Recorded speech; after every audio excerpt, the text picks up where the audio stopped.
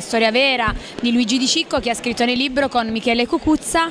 e poi da cui è stata tratta la sceneggiatura. È un film sociale perché parla della storia di un ragazzino che è vissuto in una famiglia di camorristi e a tutti i costi vuole cambiare vita e ci riesce perché ognuno di noi ha diritto a una vita normale. Il tema della camorra ma con un finale positivissimo, quindi diverso da, dalle altre storie e, e quindi insomma Gramigna è proprio questa, l'erba cattiva che non muore mai invece in questo film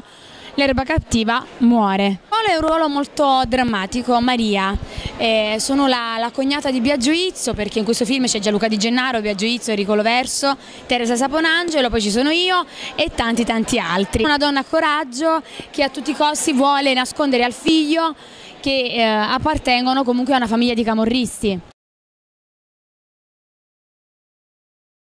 Il primo perché è girato ad Aversa, a Napoli e a Civitavecchia e il secondo perché parla di una storia veramente accaduta e raccontata prima in un libro e poi in un film. Nel libro da Michele Cucuzza con Luigi Di Cicco che è vero figlio del boss eh, in vita, ancora in vita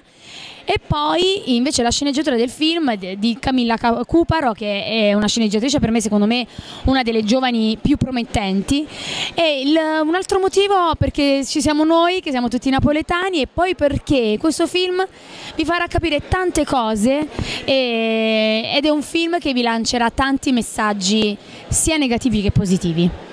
Un bacio da Anna Capasso.